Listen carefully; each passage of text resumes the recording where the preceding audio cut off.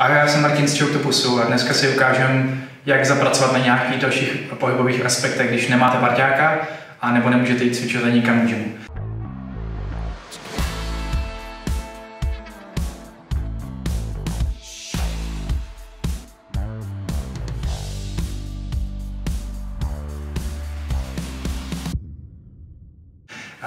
Pohyb je součástí každého bojového sportu a je potřeba pro ten pohyb mít dobrou koordinaci. Když potom ještě přidáte parťáka, je potřeba si dávat bacha na to, aby vás netrefil třeba nějakým úderem.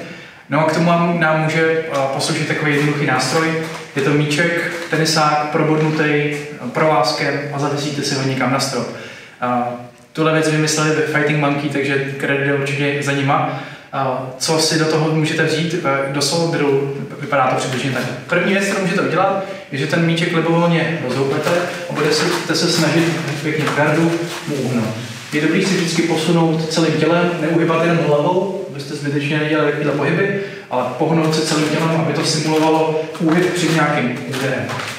Pokud jste začátečníci, můžete se hýbat jenom do strany, zpátky, do strany a zpátky, do strany a zpátky.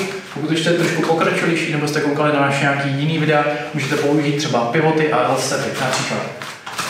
Pohnu, pohnu se do, do, trošku